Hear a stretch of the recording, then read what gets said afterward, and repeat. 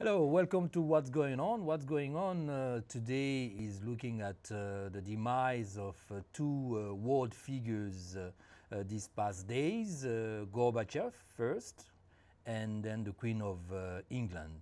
What does it mean for the world today, and then and retrospectively, you know, to the past history? I mean, the past 50 years. we're gonna talk about it with Sandy Baird and K Kurt Mehta uh, friends.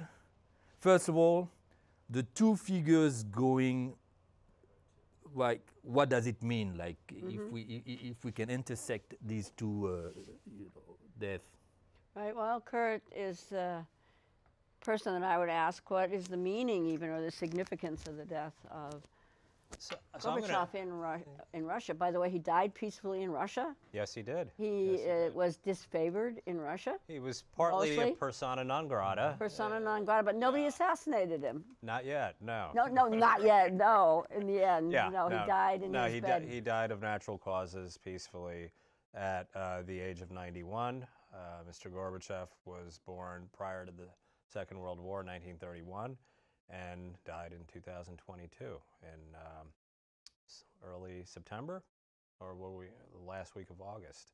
So why are we talking about him? Um, let me just say what I'm a little bit about why I think it's an important topic because I think his uh, administration, if you want to put it that way, his leadership of the Soviet Union uh, led eventually to the demise of the Soviet Union and then the turn from the Soviet Union to Russia right? right? And that, I think, has great significance. Whether you regard it as a tragedy or not is a different story. I, I kind of, in some ways, think it at least is very significant for the future that Russia became Russia rather than the Soviet Union. But anyway, what's your take on it? Yeah, I mean, uh, Gorbachev uh, is potentially one of the largest figures in the latter part of the 20th century's mm-hmm. history mm -hmm. in terms of the amount of change mm. that his administration uh, exacted on the world. Uh, he, you, we can contrast Mr. Gorbachev from prior Soviet leaders. Mm. Yeah. It was, a, it, was a, new style of leadership. Uh, he was very engaging with the people. The prior Soviet leaders, going back from, we have to understand what happened immediately right. before uh, Mr. Gorbachev came into into power. Uh, Leonid Brezhnev, uh, mm-hmm. a towering figure in Soviet history, had passed away in 1982. And then there was a succession of two leaders after him, a Konstantin uh, Chernenko and Yuri Andropov, who right. both died within very uh, within a quick quick period of time after Brezhnev's death. Mm-hmm. And then Gorbachev was, you know, the fourth Soviet leader in about 3 years that came in and he was younger than many of right. the prior Soviet leaders and leaders. kind of colorful colorful. Mm-hmm. Um, he was a musician, an amateur musician, and he was a lawyer. He was uh, very educated. Yeah, mm-hmm. he was uh, educated at Moscow State University. And he did things, he was not as secretive as prior Soviet mm-hmm. leaders. He was very engaging. He would go out onto the streets of Moscow and just talk to people, um, impromptu, without any advance notice. And he, he, as a result, he was very well liked. Uh, the interesting thing is on our side in the United States, uh, he was looked at very suspiciously initially. Uh, these actions where he would go out onto the streets, he did it in New York City also, wow, uh, but he did it in that. Moscow mm-hmm. Uh, all the time. they looked at that very suspiciously, people, my friends on the right in this country, because they thought, you know, he was trying to lull and to attract the West into uh, communism.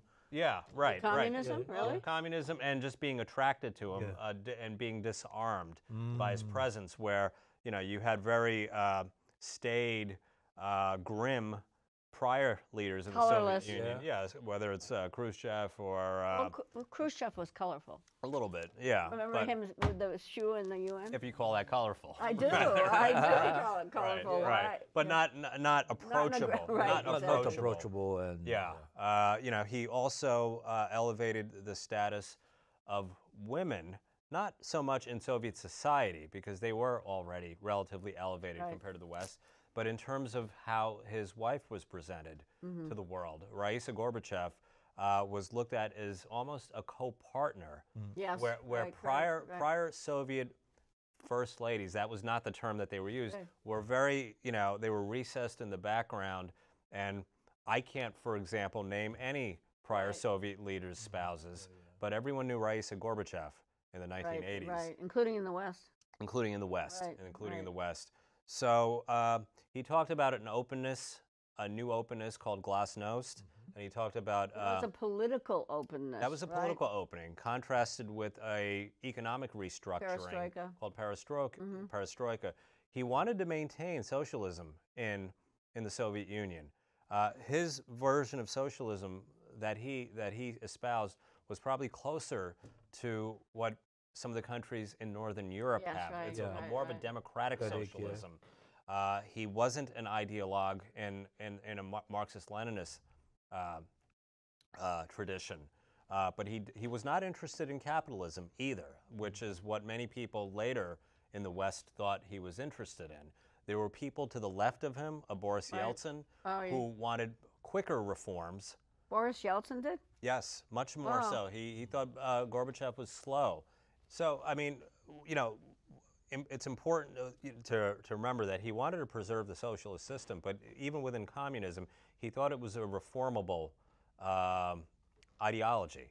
Uh, that there were some, you know, changes that they had to make. Uh, the Soviet Union was also becoming an extended empire outside of the confines of even the Soviet Union itself, going into Africa, going into Right. Asia. There was a protracted war in Afghanistan that had started in 1979. right, right. And the Soviets were losing lots of people and a lot of money in that war, even though Afghanistan's proximity was, you know, they, it was it was essentially almost practically a bordering country to the southern Soviet republics.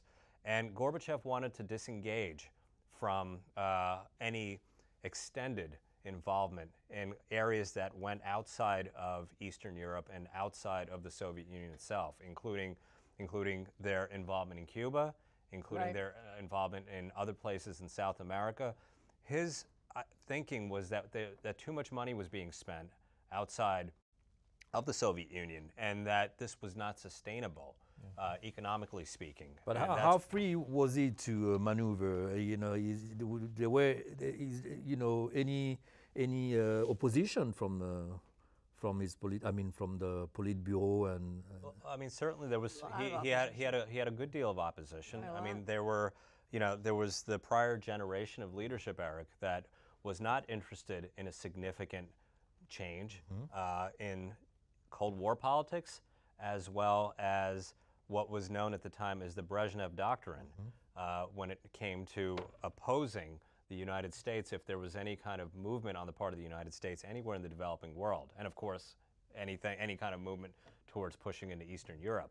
And Gorbachev wanted to, you know, he was he had a plan. He had met with Reagan a few times, and there was a talk about, you know, uh, uh, reducing the number of nuclear arms in the world. I thought they came very close to signing something, him and Reagan. They they came very close. They had a they had a summit in Reykjavik, Iceland, in 1986. exactly. 1986. And at the summit, you know, they I still remember the pictures. They met in this little red house, you know, uh, one one room house, and uh, and spent a few days there talking about how they wanted to actually. Uh, get rid of all nuclear weapons. Exactly, that was right. actually on the table, but Right. nothing was signed, Sandy Right. because uh, the United States had just, under President Reagan, had just started uh, uh, the SDI program, which was known as Star Right, Wars, Exactly. yeah. and and and taking uh, weapons into into space and use the, and using satellites. Uh, at that time, it was a big initiative, extremely extremely costly. Uh, and the Soviets knew that also, that it was going to be costly for the United States, but it was also going to be costly for the Soviet Union to respond in kind. And that was a sticking point at that Reykjavik con- uh, conference. Uh, Reagan would not agree to dropping the SDI, the Star Uh-huh. Wars program, and G- Gorbachev required that was a condition precedent. well, it seems that might have been moving ahead. reasonable, right? Yeah. Right. But, but Gorbachev also was perceived as very pro uh, West. w- West. Uh, at some point, some people maybe thought that the West influenced his position. H- How was that? It, it depends on who you ask, Eric, and it depends on how he was, you know, per, how the media portrayed him. Uh, I mean, I had spent a little bit of time in Western Europe at the time, and um, specifically in, in, in West Germany. And West Germany, I thought you also spent some time in the in East. both, in Yeah, both. right. But in, in terms of how he was perceived in West Germany, he, I mean, the man was adored. He was loved. Reagan was not as popular amongst a good portion of the population in Western Europe. ex- You know, maybe with the exception of Britain. You know, he was very close with uh, Prime Minister Thatcher. But Was. uh, Reagan, Reagan, was. Reagan President was, Reagan yes. was very, yeah, they had a right, very good right, relationship. Right, right. But um, you know, people on the street, the average West German, the average French person, thought very highly of of uh, Gorbachev, Mikhail yeah, Gorbachev. yeah. he So was did very, he was Americans adored. in general.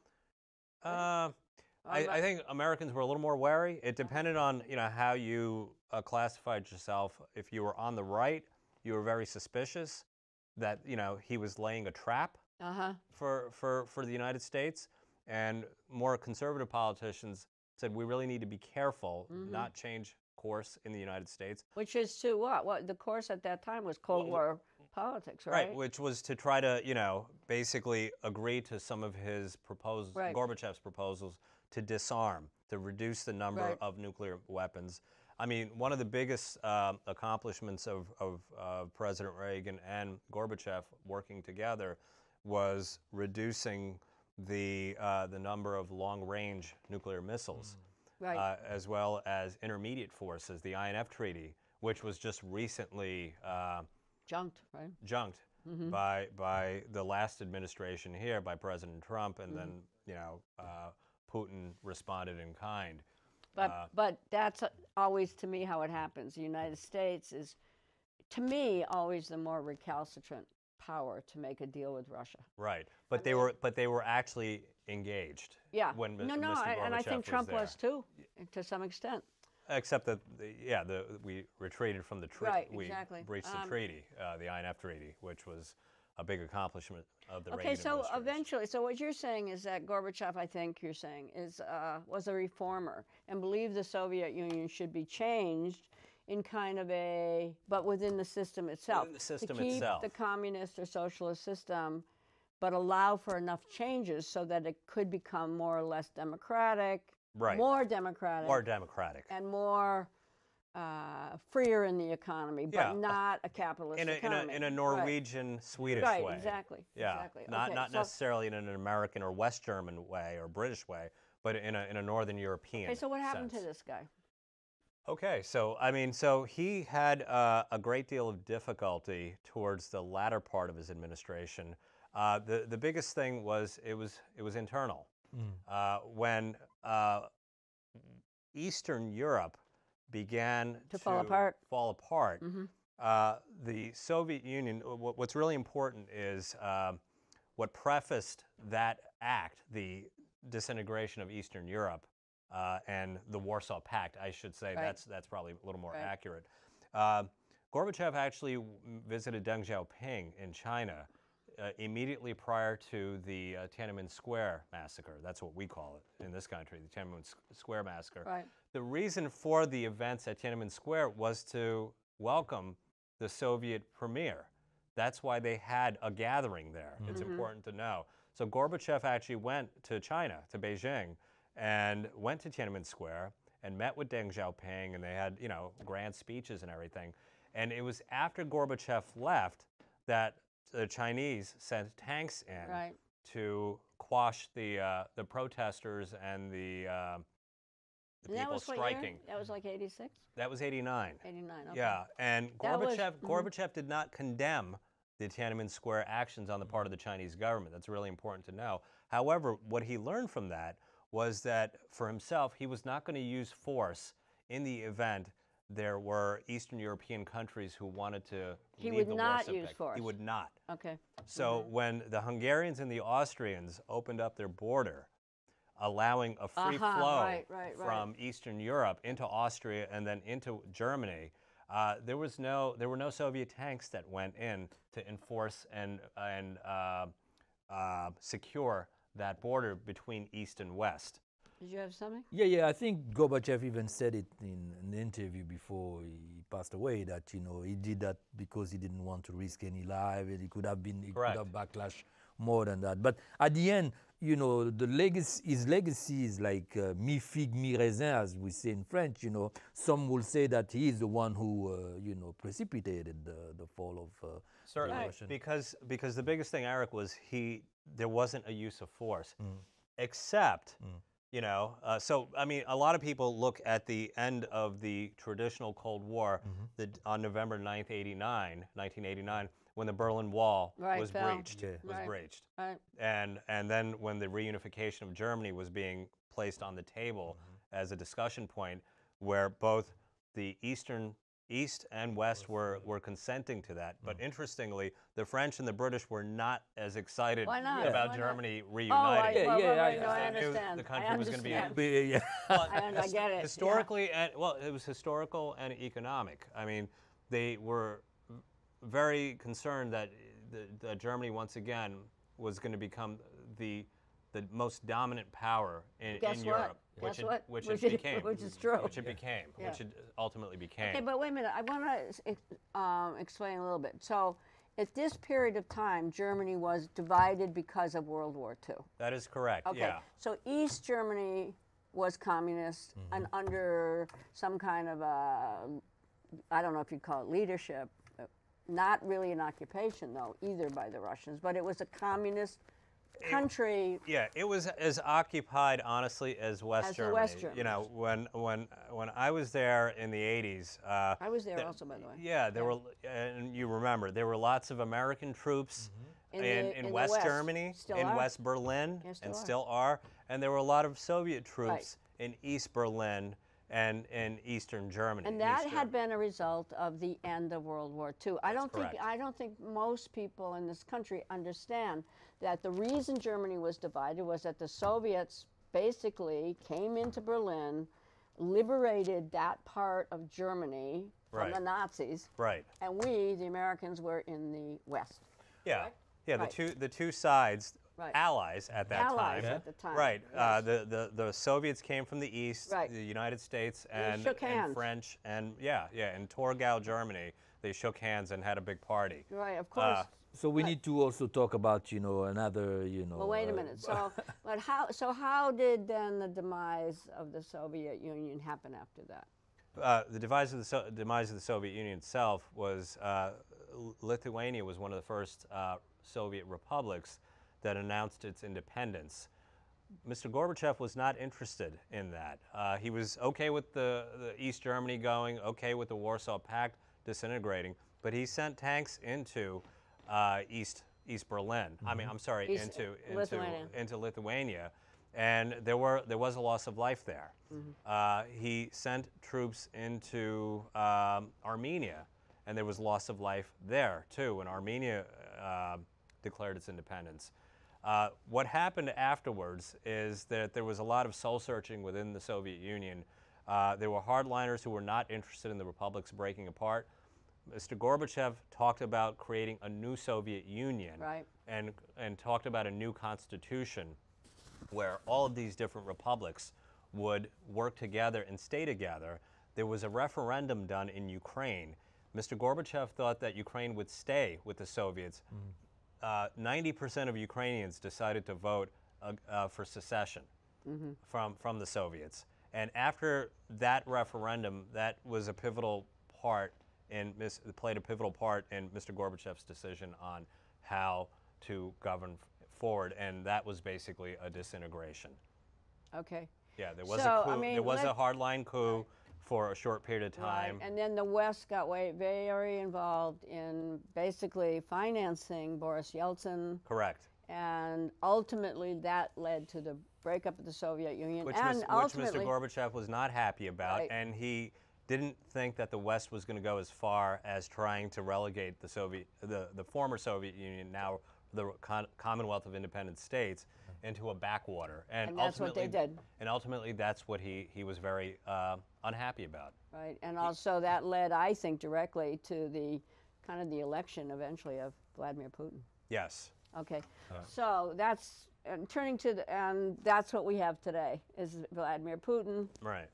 who is continuing to lead Russia as Russia. as- Yes. Right. Yes. It's interesting about Vladimir Putin how Gorbachev put it this way. You know, uh, sometimes nations are faced with challenges that requires the leadership to, to stay there because you know there's nobody capable of taking over. And that's where Putin is right now you know because the country is at uh, you know uh, a very important crossroad. And then there's no other leader because he was asked somehow if he condemns you know uh, Right.